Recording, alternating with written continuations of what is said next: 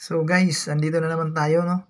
Ah, ang tuturo natin ay yung ilaw na maraming switch. Hindi siya three-way, kundi mahigit pa siya kahit sampung switch ang ikabit natin. Mas maganda yung mga ganito sa mga street light o kaya sa mga hallway ng mga planta o kaya sa mga apartment na maraming butas na mayroong hallway rin. Ah, bawat apartment mayroong mga switch para sa hallway nila. Ito mas maganda dito mga guys. So ngayon guys, ito yung diagram na ginamit natin para dyan. So ngayon, ituturo natin to dun sa mga hindi pa marunong na mga ka-electrician natin para mayroon naman silang idea na magagamit nila dun sa mga industrial. No? Ngayon, dito sa board natin, na mga pag-testing ko dito sa planta, pipili tayo dyan ng mga gagamitin natin na contactor at saka yung latching relay. Yun ang gagamitin natin guys. So, ngayon, ito yung dito namin tinitesting yung mga problema namin sa mga machine. Ang pipiliin natin dating natin ngayon na mga gagamitin dyan ay yung itong contactor na EBB. Yan, yung EBB at saka yung latching relay. At syempre guys, uh, niready natin yung mga gamitin natin katulad yan, ilaw, at saka mga wire, para madali na lang isuksok, at saka yung mga switches. Yung mga switches na yan, yung gagamitin natin dun sa project natin ay yung yung sa parang doorbell lang yan mga guys normally open so ito yung latching relay na kailangan natin. Ito magpapagana dun sa pag off at saka on ng ilaw. So guys yan. Basta tatandaan nyo guys ayan yung mga gagamitin natin. At saka yung switch na yan normally open yan yung green gagamitin natin. Mayroon yan sa mga hardware mga parang switch talaga sa bahay pero normally open siya. Yung parang doorbell lang. Yun ang gagamitin natin dyan ng mga switch ito dito lang naman ito sa pan-testing natin. So guys ito yung diagram natin no? Ah uh, yung binibilugan ko yan ay dun sa may breaker. Tapos ito naman na binibilugan ko na isa. Ito yung mga sa contactor natin. Yan yung coil ito yan A1 at saka A2 yan yan.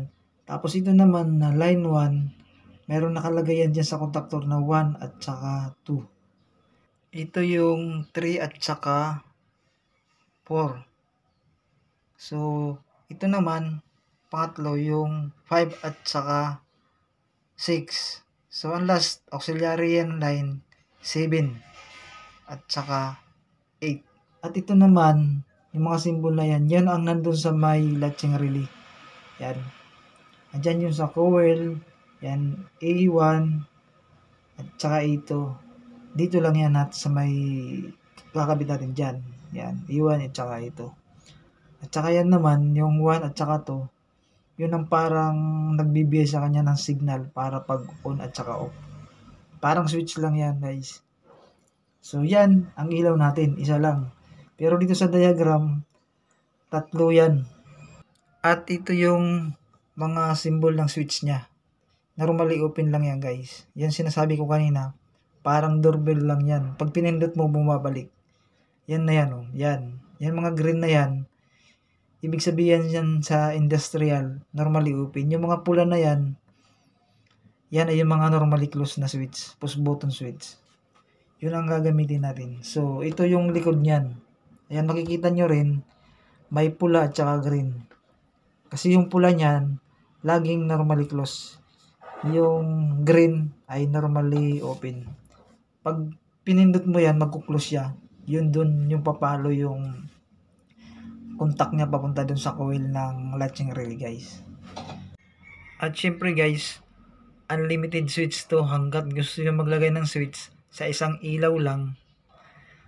Yun, magkabit kayo ng magkabit. Pero mas maganda to yung mga ganitong may contactor sa mga street light talaga. Pero pag sa bahay lang, mamaya may video yan. Uh, wala nang contactor. Yung latching relay lang. So guys, ito na yung gamit natin. Mag-umpisa na tayo, no?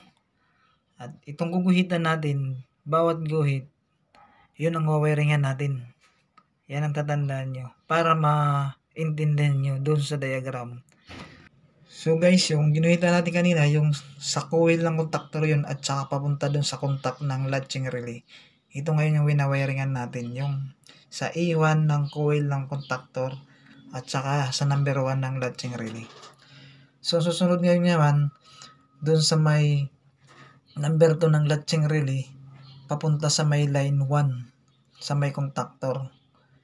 Yan ang magiging supply sa atin ng line 1 galing sa breaker. Yan yung line na yan. Yan yung line 1 ng power natin sa kuryente. So guys, ngayon lilinyan natin sa contactor hanggang doon sa latching relay. So, ganun lang tingnan nyo lang at mabagal naman yung paggawa natin siguro masusundan nyo yung mga ginagawa natin kasi pag binilisan nga natin hindi nyo maiintindihan dun sa diagram at saka dito sa pagkakabit natin kaya tiyagaan na lang to kahit tumagal so ngayon ang susunod naman natin ay yung coil ng latching relay papunta doon sa coil ng kontaktor. Ikukunik natin yan dahil yan ang magiging line 2 natin guys. Ngayon, wawiringan lang muna natin simula sa coil to coil ng kontaktor at saka coil ng latching relay. So, yan. Yan yung A1 ng latching relay. Ngayon, papunta naman tayo sa coil ng contactor sa A1 din. Doon din natin ikakabit. Yan yung uh, line 2. Mamaya, ikukunik natin yan. So guys, yan. Naikabit na natin ano. Siyempre, guguhit ulit tayo. Yan, sinundan natin. Gihit ulit tayo dun sa may pinagabitan natin sa coil ng contactor naman. Papunta naman tayo sa may contactor ng line ng papuntang line 2. Yan, dyan pa rin yan sa may contactor niya. Kaya kailangan natin dyan uh, maliit lang na wire. Maliit lang. Sa coil lang to contact lang. Sa contactor mismo niya. Kasi yung coil niyan ay sa contactor lang. Kaya maliit lang na wire ang kailangan natin. Basta sundan nyo lang. Tandaan nyo lang. Ah, maganda lang to sa street light. Kasi maraming ilaw at saka sa hallway sa mga planta o kaya sa mga bahay na may garden. Kailangan nyo ng kontaktor. Kasi ang latching relay hindi kakayanin ng yung contact point niya hindi kakayanan ng maraming ilaw. Dito lang ng contactor, yung contact point niya ay malaki. So guys, ngayon, wawiringan natin to papunta dun sa may breaker line. Yun yun, susunod natin. Yan. Yan ang pinaka line 1 niya. Makikita yan dun sa breaker, may number dun na 1. 1, 3, 5, 7. Doon tayo sa 1 yun yun lang ang gagamitin natin. So guys, susunod natin yung line 2. Itong guguhitin natin, ito yung line 2. Mula sa contactor papunta sa breaker. Yan.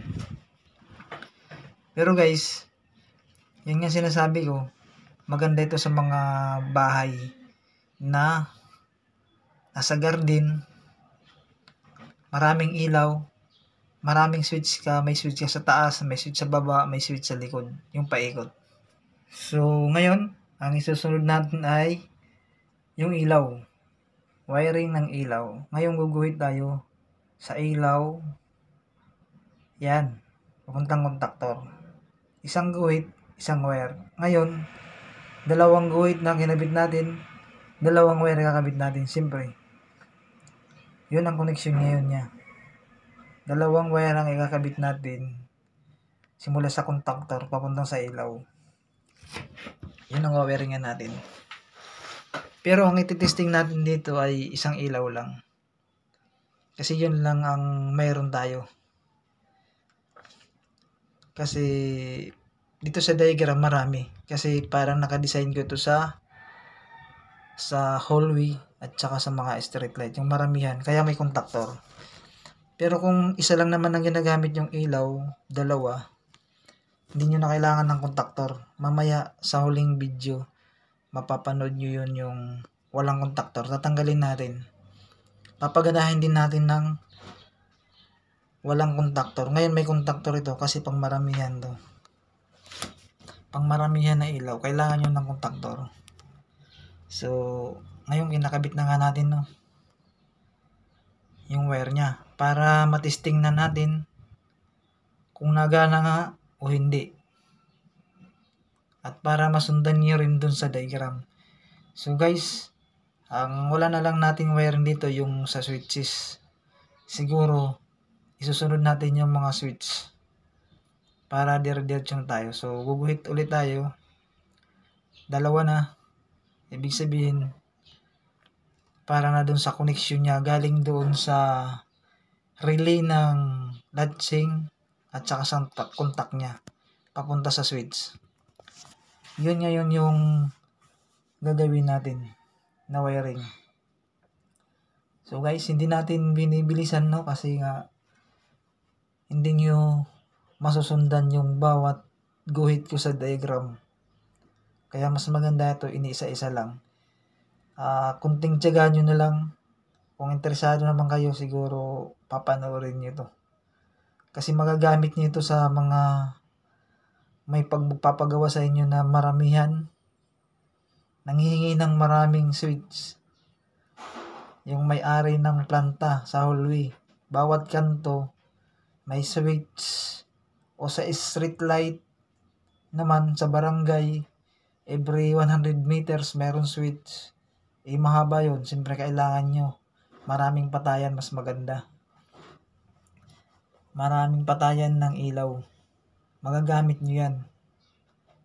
Ngayon, madalang magamit yung mga ganito. Eh, siyempre, itabi nyo na lang yung matututunan dito. Dahil pagdating ng araw, biglaan lang yan na may magpapagawa ng ganyan. So, nandito na tayo sa pangalang switch, pangalawang switch, no? Ginuhitan na rin natin. Ayan, simula sa isang switch papunta dito. Jajump tayo kasi yung red dyan na switch, hindi natin gagamitin. Yung green lang kasi yung ano, mga normally open. Kasi pag inon mo, nabalik ulit siya, nag-open ulit siya. Yun lang. Naka-parallel connection lang to. Kaya kahit maraming switch gamitin mo dyan, isang ilaw, mabubuksan mo siya sa isang ilaw, mapapatay mo siya sa ibang switch. Mabubuksan mo sa switch, iba parang three-way. Kasi familiar sa atin kasi three-way lang. Ito, kahit marami kang switch, sa isang ilaw lang. Kahit saan mo patayin, magagawa mo to. Kasi yung latching relay na to, maraming gamit to. Ginagamit din to sa mga elevator. Yung mga switch doon, ginagamit yan. Marami ang gamit ng latching relay na to. Hindi lang to matunog, pero ginagamit ito sa mga mga technician. Sa mga building wiring, hindi masyado to. Pero, mas maganda na rin to, magkaroon kayo ng idea. So, ngayon, papunta na tayo sa pangatlong switch. At saka pang-apat, parang ginuhita na rin natin para sabay-sabay na. Tsaka sa pang-apat hanggang pang-lima. Para sabay-sabay na ng connection natin. Mabilisan na lang. Parang nababagalan na rin ako eh. Kaya medyo binibilisan natin. Kasi pare-pares lang naman ang connection dyan. Walang pinagkaiba. Parallel. So guys, yun no. Yung latching relay na to ay maraming pinagagamitan nito. Hindi lang ito sa mga ilaw, nagagamit din to sa mga makina, sa sensor, sa mga industrial, nagagamit to, gamitin to. Sa building, pwede ito natin gamitin sa mga ilaw sa bahay. Yung sinasabi ko kanina, maraming switch. Halimbawa, garden. Paikot ng bahay mo ng mayaman na nagpapagawa sa iyo ng paikot ng ilaw ay gusto niya may switch bawat pag ikot niya sa kabila, pwede niya patayin. Yung parang tinatamad na pumunta dun sa switch, at least marami siyang mapapatayan. Hindi na siya pupunta pa dun sa isang lugar na nandun lang yung patayan ng switch. Ganon din sa mga street light.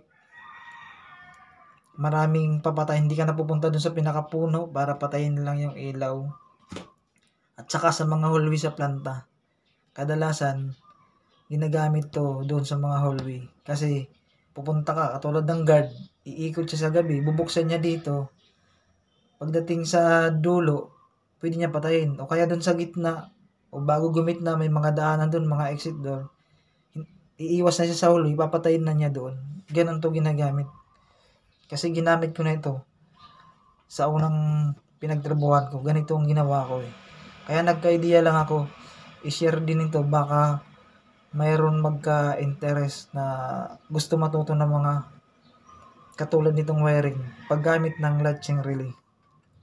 So guys, sinama ko ng kontaktor para maintindihan nyo na rin pag maraming load, kailangan nyo ng kontaktor, hindi kakayanin ng latching relay. So yun, ngayon tapos na yung wiring natin no, tapos na lahat. Ang gagawin natin dyan, itatap na natin yung wire na black papunta dun sa breaker para mag-testing na tayo. So, ito yung diagram natin, no? Inaayos lang natin ng wire. At ito, yung line kanina na black wire. Yan yung line 1 at saka line 2 na papunta dun sa contactor. Iko-connect natin ngayon doon sa breaker. So guys, ganun lang. Parallel connection lang lahat ng switch. Kahit abutin ka ng 10 switch, pataas, parallel connection lang, dalawang wire lang. So, kinokonek na nga natin yung wire, no? Dalawa, sa breaker. At, maya-maya, umpisa na tayo pag-testing. So, guys, na-connect na natin, no? Ngayon, titesting natin ngayon kung walang supply yung kawiring natin. Kasi mamaya may supply, 'di ba? Di natin alam eh. Kasi nga kung tama, ayun. Tinesting natin sa latching.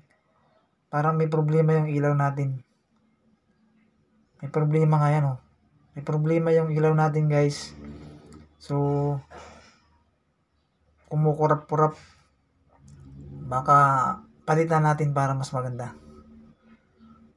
Kasi ayan, oh. Ayan. Hindi maganda yung ilaw niya. Kaya palitan tayo din guys. Para mas maganda. Doon tayo nagkaroon ng problema. Yun. Yan yung maganda. Kita. So, testing tayo. Switch on, off. Yan. Tingnan nyo lang. On lang. Dalawang, yan. Ganun lang. Ngayon, napapatay siya lahat ng switch. Sa iba naman, yan. Off, on, off, tapos on. Off ulit. So, lahat ng switch ngayon, nagana siya kahit saan mo siya patayin. Ay, diba? Yan. Oh. Kahit malayuan, mapapatay mo siya. Pero ang ginamit natin switch, lima lang. Guys, lima. Pero guys, testing pa natin isang beses pa. Baka nga magloko pa. So, yan. Pindot lang. Testing. Okay. Ibig sabihin, wala ang sablay yung wiring natin guys. Ibig sabihin, tama yung diagram natin. Gumana siya. Ayan yung diagram natin. So, isang ilaw lang. Pero ngayon, uh, lalagyan natin connection na lang. Yung ilaw dyan, siyempre, mga ka-electrician dyan, alam niyo na yan. Pag sa switch, kung isa lang yung switch papunta sa ilaw, paparallel ka na lang kung maraming ilaw mo. Parallel connection na lang din yung ilaw. Pag maraming ilaw, ikakabit mo. Ngayon, ginuhitan ko lang din doon sa diagram yung ilaw na iba. Ibig sabihin, kahit gumamit niya rin dyan ng maraming ilaw, hanggang 10, 15, kaya yan ng kontaktor kasi kontaktor tayo eh. Pero doon sa latching, hindi pwede. Kailangan nakakontaktor ka kung marami ilaw. So, yan diagram natin, guys. Yan ang susundan nyo kung sakasakaling may gagawin kayong ganito. So, ngayon, ang natin dyan, ah tatanggalin natin ang kontaktor. Ah, doon tayo sa latching relay lang. Yung halimbawa, isang ilaw lang. Hanggang dalawa. Doon lang sa bahay lang. Sa labas ng bahay mo pero kailangan mo ng may switch sa baba, sa taas, o kung malaking bahay mo, bawat kanto may switch yun. Isang ilaw lang dinadala hanggang dalawa. Tatanggalin natin ngayon yung kontaktor. Latching lang ang papaganahin din natin. Latching relay. Na gagana din siya ng ganun connection. Kasi ang kontaktor, ginagamit lang yun sa maramihan. Maramihan load. Maraming ilaw, malakas ang load. Kayang-kaya ng kontaktor natin yun. Kaya ngayon, binabaklas natin para matesting natin doon lang sa, latching relay lang guys. So maya maya habang tinatanggal natin yung wire, ililipat lang natin yan. Yung connection. Yun dun sa may coil niya ng kontaktor na E1 at saka A2, yun ang magiging linya mo ng ilaw ngayon. Kasi tinanggal natin yung kontaktor eh. Pupunta doon ngayon yung sa may iwan ng ng contactor. Yun ang magiging line 1 pa rin natin. Ah line 2 pala. Yun doon sa may ah, contact ng latching yun pa rin yung line 1 line 2 sa may ilaw mapupunta yung isa naman papunta doon sa contact so guys madali lang yun ngayon pag ganyan, tinan mo, tinanggal natin yung kontaktor. Kasi doon sa diagram, tinanggal lang natin yung kontaktor. Ibig doon sa kontaktor yung nasa taas. Tinanggal natin yun. Ang matitira yun, yung nasa baba na lang. Inatira ng coil doon, yun ang doon natin ililinya yung ilaw. So, ngayon testing na tayo. Yan. Umilaw na siya. Wala na siyang kontaktor. Yan wala na siyang kontaktor. Kumbaga, pag maliit ang load lang yan, guys. Ganyan natin gagawin. Siyempre, pang industrial switch ang ginamit natin. Wala tayo ngayon dito yung mga pangbahay na switch. Kaya ito lang ginamit, na, ginamit natin. Pero parehos lang ang function noon. Yan. Ganun pa rin. Kahit saan mo buhayin, patayin, nagana pa rin. Kaya, maramihan switch to hindi lang 3 way dalawang switch 4 way maramihan to. Yun guys. Uh, maraming salamat guys sa mga nag, nagtyagang manood sa napakahabang video no? Sa mga interesado dyan na pinanood nyo ng buong buo uh, maraming salamat. At para sa inyo rin naman to. Ito naman video na to ay share ko lang para kahit papano malaman nyo. Ayan, yung connection niya sa ilalim, parallel lang. Wala na tayong kontaktor. Latching relay lang, kaya ng maraming ilaw din. So guys, maraming salamat ulit. Hanggang sa susunod na video ko, kung manonood din kayo, may matutunan kayo. Siyempre, si Mar Abo to. Bisaya ta.